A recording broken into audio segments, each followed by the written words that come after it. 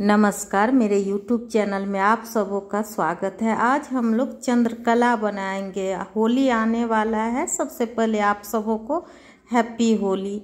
तो चंद्रकला अब ये गुजिया, ये सब होली में बहुत ही प्रसिद्ध है, बनता है हर घर में। तो मैं सोची ये वीडियो डालूं, इसीलिए मैं चंद्रकला बनाई हूँ। देखिए कितना अच्छा लग रहा है देखने में। ये गुजिया का ही दूसरा रूप है थोड़ा सा अलग सा है। बस इतना ही फ़र्क है। बाकी कोई नहीं है, सब उसी तरह बनता है। तो ये मैं खोए वाला मावा का चंद्रकला बनाऊँगी। इसके लिए पहले दूध ली हूँ मैं। ये दो लीटर फुल क्रीम दूध ली हुई हूँ, क्योंकि उसमें मावा ज़्यादा बनता है तो थोड़ा अच्छा हो जाता है। तो इसको मैं गाढ़ा करके आधे पर ले आई हूँ। अब इसमें मैं मिल्क पाउडर चार से पाँच चम्मच डालूँगी। वो दस से पंद्रह मिनट में हमारा मावा खोआ बनकर तैयार हो जाएगा, जो आसानी होती है। नहीं तो अगर केवल दूध का हम बनाएँगे तो काफ़ी टाइम लग जाता है। इसमें मैं थोड़ा सा इलायची और पिस्ता बादाम सब कूट करके डाली हूँ। तो इसको धीरे धीरे मैं गाढ़ा कर रही हूँ। ये बल्कि आधे से भी थोड़ा कम हो गया है। एक लीटर से के आसपास आया है। अब इसमें मैं मिल्क पाउडर डालूँगी। कोई भी मिल्क पाउडर ले लेंगे। बाज़ार में मिलता है। हमें बड़ा लाना हो तो लाए, ना तो छोटे में भी बना करके डाल सकते हैं। और ये फुल क्रीम में बनाएँगे तो ज़्यादा क्रीमी लगता है और बनता भी ज़्यादा है। इसलिए थोड़ा सा ये ध्यान देना होगा। और अगर आप लोगों को वीडियो मेरा अच्छा लगे तो मेरे चैनल को ज़रूर सब्सक्राइब कीजिए, लाइक, कमेंट भी कीजिए। और अगर आप फेसबुक पर हैं तो कामनास किचन के नाम से मेरा पेज है, वहाँ भी जाकर एक बार ज़रूर देखिए। वीडियो अच्छा लगे तो मेरे चैनल को ज़रूर सब्सक्राइब करें। ये मैं मिल्क पाउडर अब मिला रही हूँ, इसको मैं इसी में मिलाऊँगी। कोई गांठ उठ नहीं, गुठली पड़ता है, आराम से मिल जाता है। और इसको हम गाढ़ा कर लेंगे, चला करके।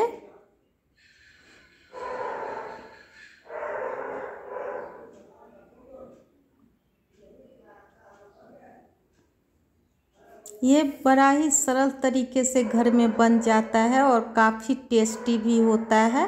तो एक बार ज़रूर आप लोग बनाएँ।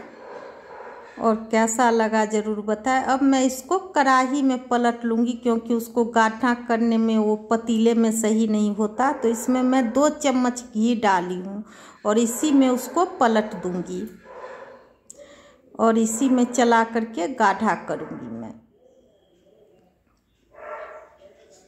इसको छोड़ेंगे नहीं, अगर रुक जाएँगे चलाना तो ये नीचे से जल जाएगा। ये थोड़ा हमें ध्यान रखना है।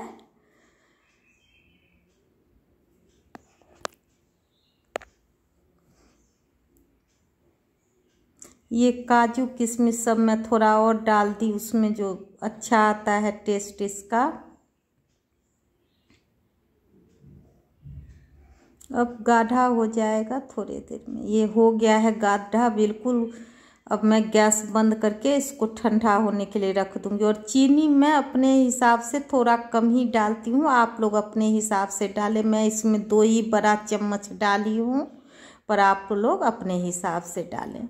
ये मैं मैदा ली हूँ, करीब आधे किलो के आसपास ली हूँ। आप ये भी अपने हिसाब से लें और इसमें मैं थोड़ा सा रिफाइंड डाल करके पहले मिला लूँगी, फिर इसको मैं पानी कम कम डालूँगी। एक ही बार में ज़्यादा पानी हम नहीं डालेंगे, नहीं तो हमारा आटा जो है वो गीला हो जाएगा। इसमें मैं डेढ़ सौ ग्राम के आसपास रिफाइंड डाली हूँ, क्योंकि इसमें थोड़ा ज़्यादा लगता है, सॉफ्ट रहता है तो अच्छा लगता है खाने में, इसीलिए। इसी तरह पहले बिल्कुल हाथ से हम मिला लेंगे, तब पानी डालेंगे। ये नहीं कि रिफाइंड और पानी दोनों साथ डालें, और छीटा मार के थोड़ा थोड़ा ही लगाएँगे आटा एक बार में सारा पानी उसमें नहीं डालेंगे, नहीं तो गीला हो जाएगा। और थोड़ा टाइट ही इसका बनता है, आटा सनता है, ये ध्यान देना है हमें, नहीं तो थोड़ा सा टेस्ट में फ़र्क आ जाता है।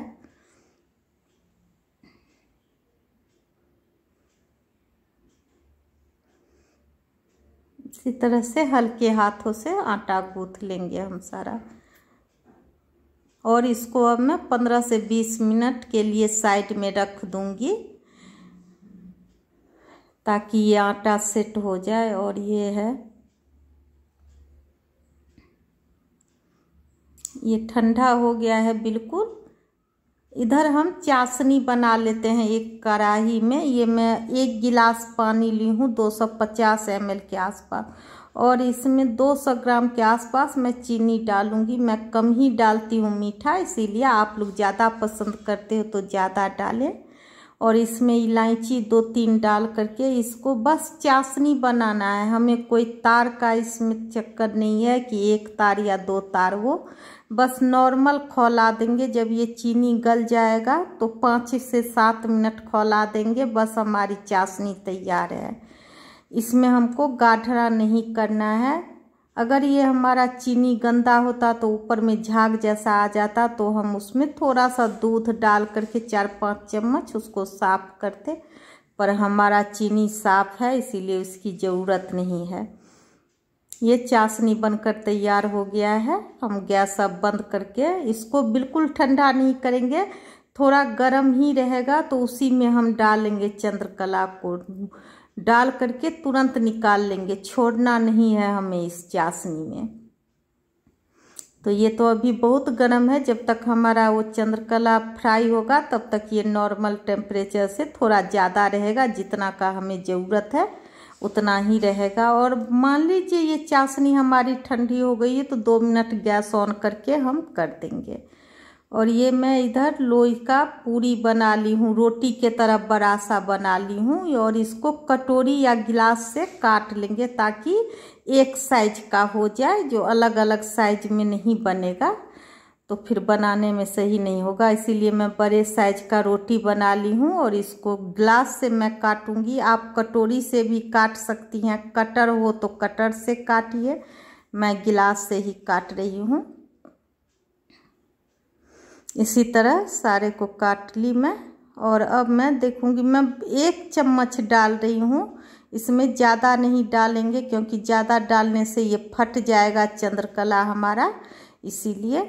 और ये ऊपर से दूसरी पूरी डाल दी मैं इसी तरह और साइड में इसके पानी लगा लूँगी ताकि अच्छे से हमारा चिपक जाए किनारी। अगर किनारी नहीं चिपका रहेगा तो फिर उसमें रिफाइंड अंदर चला जाएगा या घी जिसमें भी आप फ्राई करें, वो आप पे निर्भर करता है। वो अंदर चला जाता है तो नहीं अच्छा होता खाने में, इसीलिए हम पानी लगा करके ही उसको चिपकाएँगे। अब ये हो गया, इसको मुझे उतने अच्छे से गूँथने नहीं आता है, पर मैं कोशिश करती हूँ इसी तरह। बस एक कोना ले करके थोड़ा थोड़ा करके दबाते चले जाएँगे, इसी तरह चारों बगल दबा देंगे। देखिए मैं इसी तरह कर रही, मैं दूसरा भी दिखाऊँगी। इसी तरह से किनारी मोड़ देंगे। ये गुजिया का ही दूसरा रूप है। बहुत जगह तो चाशनी में गुजिया को भी डुबोते हैं। पर हम लोग नहीं डुबाते।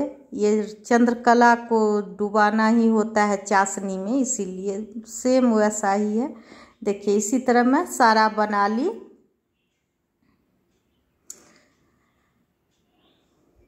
एक साथ बना के रख लिए हैं। अब इधर मैं ये घी में बना रही हूँ तो मैं घी ही डाली हूँ। आप चाहो तो रिफाइंड में भी बना सकती हैं।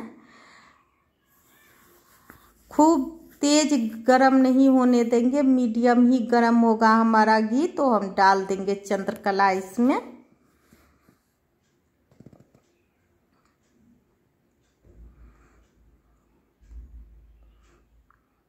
आराम से डालेंगे ताकि टूटे नहीं।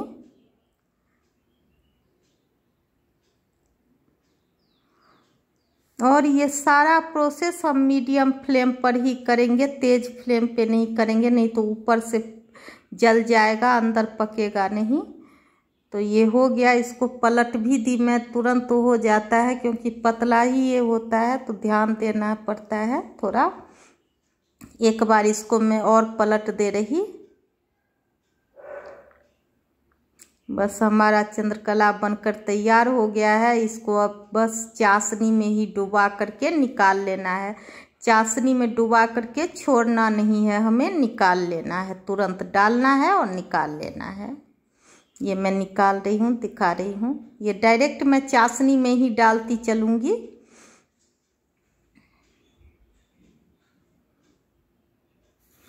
और डाल करके मैं निकाल ली थाली में, देखिए कितना प्यारा कलर लग रहा है, देखने में भी और खाने में भी उतना ही टेस्टी है। एक बार ज़रूर आप लोग बनाएँ और हमारा वीडियो अच्छा लगा हो तो चैनल को सब्सक्राइब करें, लाइक, कमेंट भी करें और हो सके तो मेरे वीडियो को शेयर भी ज़्यादा से ज़्यादा करें और एक बार फेसबुक पर आकर देखें, कामनास किचन के नाम से मेरा पेज है। वहाँ भी देखें, वीडियो अच्छा लगे तो उसको भी लाइक, फॉलो करें। धन्यवाद।